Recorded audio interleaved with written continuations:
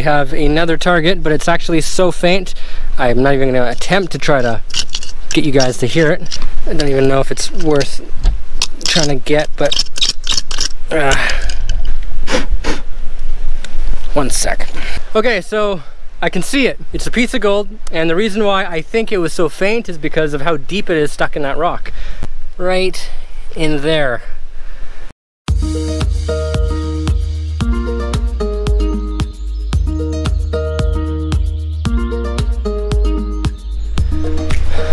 We don't stop playing because we grow old. We grow old because we stop playing. Good morning or good afternoon, everybody. Welcome to the channel if you are new to it. My name is Pauly. All right, so when you are on the hunt for gold, there are just so many ways you can go about it. You can use a gold pan to find gold, you can use a sluice box, you can use a mask and snorkel, that's my personal favorite, or you could use a metal detector. I have actually found my biggest piece of gold using one, and I feel like these are tools that are highly underestimated. Now, typically the first thing I do when I find a new place to hunt for gold is I metal detect the entire area because sometimes there will be a piece of gold sitting out in plain sight that you would not notice unless your metal detector swung over it. Since I've only had this gold claim for a little over a week now, I haven't been able to detect it. So I think today will be a good day to get that out of our system and hopefully find something amazing. Let's make our way downstream.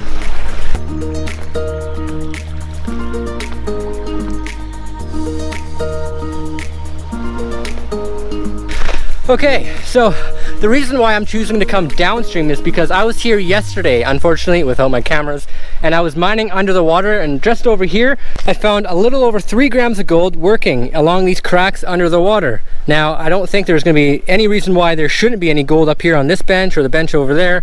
So anyways, let's just uh, get to swinging.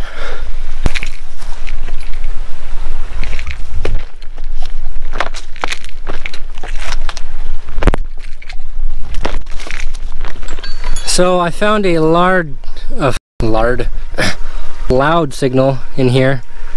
It almost sounds too loud to be anything but a nail. Let's see if you can hear it. It's not so loud without the headphones, but it is loud. So we're gonna figure out what it is. Sometimes it's easier just to put everything in a pan then pan it out.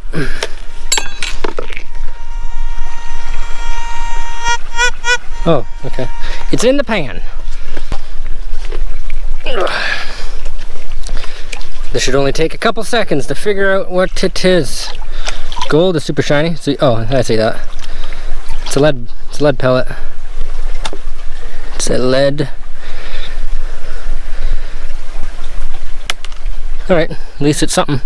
One more piece of lead out of the river.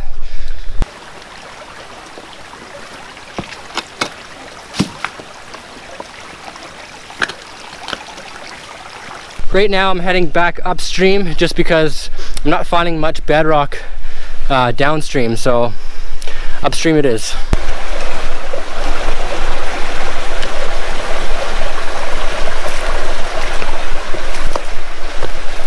Okay, I came across a target.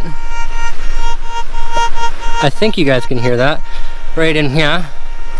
Let's scratch it out, see what it is.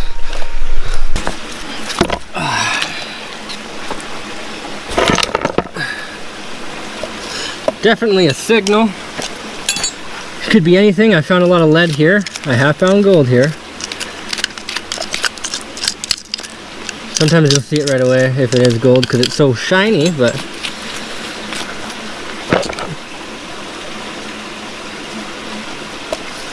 still in there.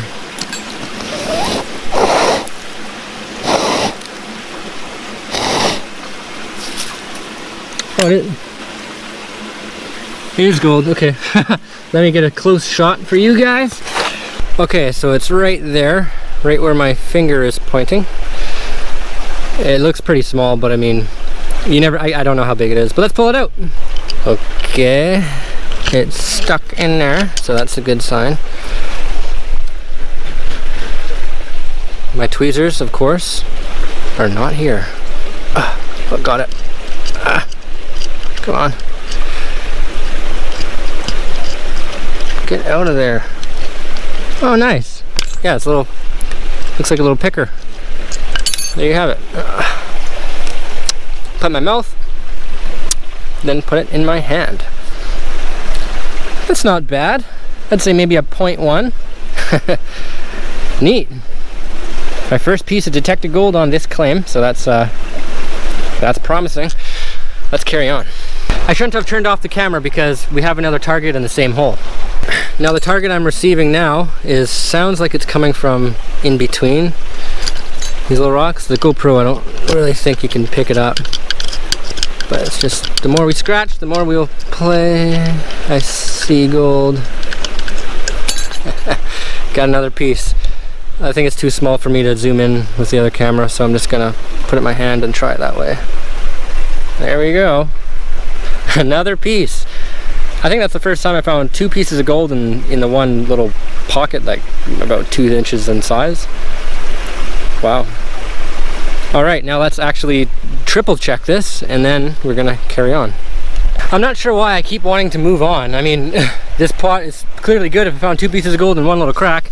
What I used to do and how I found my biggest pieces of gold was I used to do this, just crevice, and then I would detect as I went down. So this is all shallow bedrock. I might as well clean up all the gravel off here and then give that a give that a swing.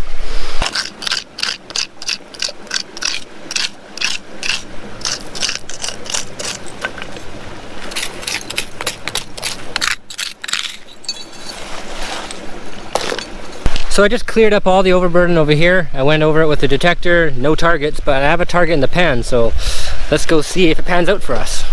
So three micro poop pieces of candy. I don't think any of those were the signal I had in the pan originally, so we either lost it or it was just a piece of hot rock or something, but let's keep going. Okay, after doing some CSI investigation, I found another target. And it's actually I think the loudest signal we've had all day. I am gonna do what the professionals do in Australia and that's use my little happy face scoop and do that little swing thing. One sec. Uh, okay.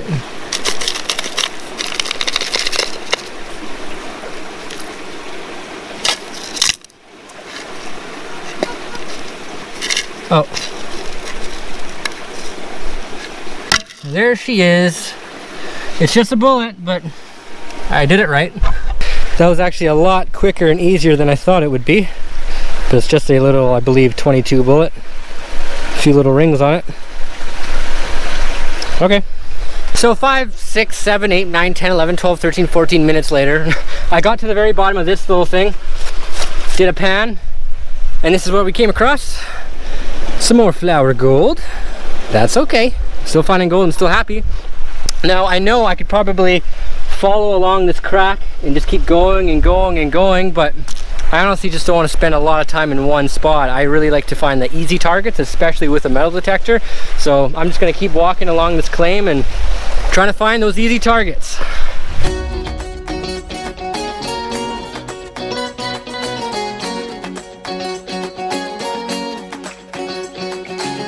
All right, so that's where we just were. And right here we have another target, but it's actually so faint, I'm not even gonna attempt to try to get you guys to hear it. And it should be right in this little area.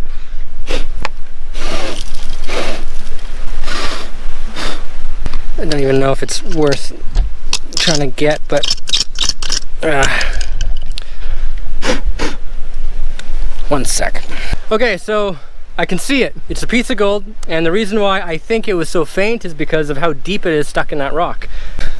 I want to see if I can get you guys to see this right in there. I can clearly see it, but I don't know if my GoPro, my DSLR camera will be able to see it. I don't know. I don't know how I'm going to get that one out. I mean, these two pieces right here look like they can pop off, but with this tool, yeah, I'm gonna have to look through my bag and see if I can't find my tweezies. Okay, I found a knife. I should walk around like this like I'm in a game. UAV online. Okay, let's see if I can't get this guy out. I don't want to scratch it either. Oh, there we go. Ah, yay! I love that. That is so cool. Oh, not very big, but it's a nugget. A little, well, I guess a picker, but Yay!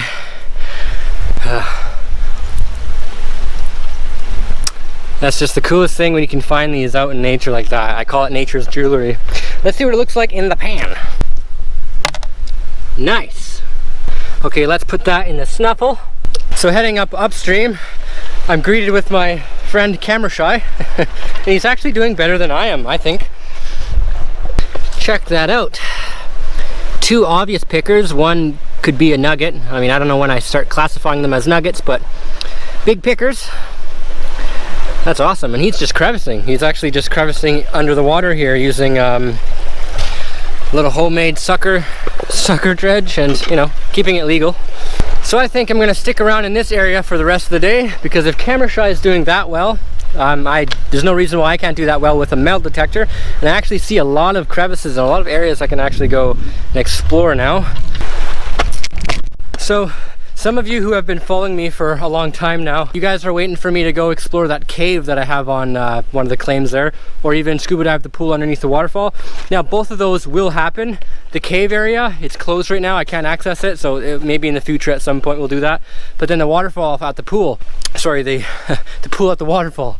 Uh, I'm waiting for my safety diver to come and get here, and he will be here probably next week sometime, so that's when we're gonna go head up there and film that. So in the meantime, I just thought I would do some metal detecting and so far we're doing all right. Look what I just found. A pulley. Ah! I got a little boo-boo. I better go home.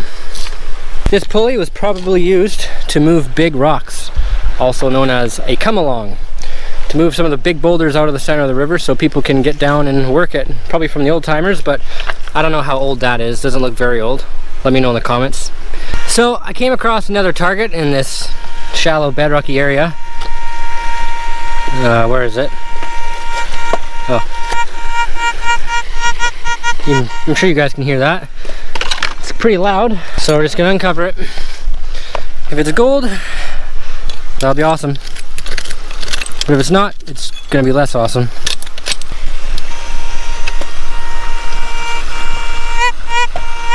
Woo! That's exciting. Where is it? Is it gold? Where are you? Oh. Ah, dang it. it's a piece of a nail.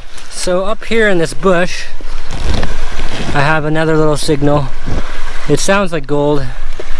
Gold sounds just like lead and it sounds like lead or gold, so we're gonna have to get to it. Come on. Get stuck in the bush. It's, it's hard to tell. Uh, that's awkward, but it's hard to tell, but it sounds like it's up in this corner. Right here. Oh, sorry, I'm not even, not even pointing to where I want to go. So it's in this general area. Um, I'm not going to bother trying to pinpoint with the detector because it's just, it's too awkward of an area. I'm just going to dig all this out and pan it.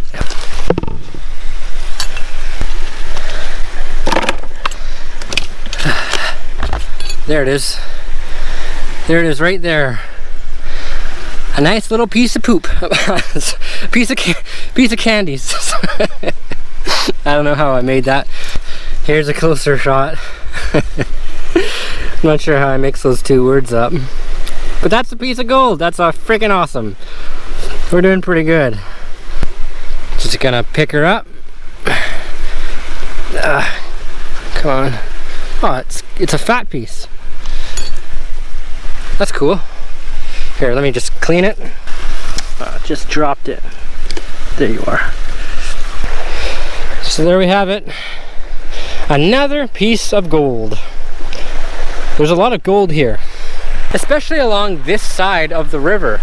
I found a 5.8 gram nugget upstream and I found a 7.5 quarter ounce nugget downstream, both along this side on the river and uh, up high on a bench, just like what we're doing now. There is also a lot of garbage, but that's okay because it's lead, it's nails, it's everything heavy. And gold is heavy, so if you're finding lead, nails, and all that kind of stuff, uh, you're working where the gold's gonna drop out too. Okay, this has happened to me many times before.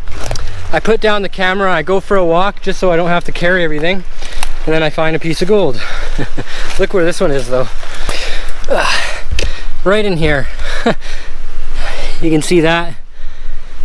It's pretty nice. Um, yeah, I'm just, I'll do a close-up shot. Yeah, so I don't know how big it is. I just scratched it out and honestly I didn't even use my my headphones. They died. So I've just been using this and this is the first piece of gold I found without using my headphones so let's pick it up. Okay yeah it's not that not a picker. That's pretty sweet And again, look where it is, up high on these benches. This is where I've always had my luck, so I think next time I metal detect here, I'm just gonna go work a little bit higher, as long as the bedrock is exposed, that is. Sweet. All right, I'm gonna call it a day. I just heard camera shy whistle at me from afar, so that's code word for let's go, Pauly. So let's giddy up, get back to the house, and have a closer look of what we found today. It didn't work. There we go. so, we went out there to look for gold and we came back with gold. So today was a very good day. Now this metal detector doesn't go very deep. It only goes maybe five or six inches deep. But I have a new metal detector coming in that will actually punch a lot deeper. So we will be able to get those deeper and hopefully bigger gold targets. But anyways, I'll show you the gold that we found today. So, like I always say, not tea bag. Not one, not two, but five little gold nuggets. That's awesome for metal detecting. And when you metal detect, that's what you're going to come across. But don't get too excited because when you are metal detecting, you will come across bullets, lead, square nails, and everything else. But that's a good thing because it means you are cleaning the river and making your next hunt even better. Let's weigh the gold now. Here's piece number one. Point two. Piece number two. Point two two. Number three. Point one one. Number four. Point two nine. Ah, that's that's looking better. And for the last piece let's guess 1.5 point two. There's a lot of twos. All right so let's weigh the rest of this stuff see if we got 14 ounces or something. That would be, I don't know, $28,000. Total take today is 1.05 grams, so I think a little over, I don't know, 60 bucks. So, eight hours on the river, making $60 in that eight hours. Is it worth it? It, it really depends who you ask, but it's worth it for me because I'm not doing it for the money, I'm doing it for the adventure. And the only reason why I'm telling you how much money I'm finding when I'm out there, gold versus the dollar value, is because some of you just want to know and just genuinely curious. But anyways, that is it for this video. If you enjoyed it, please let me know by leaving a like, comment, or even subscribing. I also have a social media open if you guys are interested to see anything else extra, any behind the scenes stuff. And if you want to support the channel even further, like wear my logo, I have a store open but I won't hold you to that. I love you all anyways. Thank you for watching. Thank you so much for your support. And until next one, ah, we'll see you later. UAV online.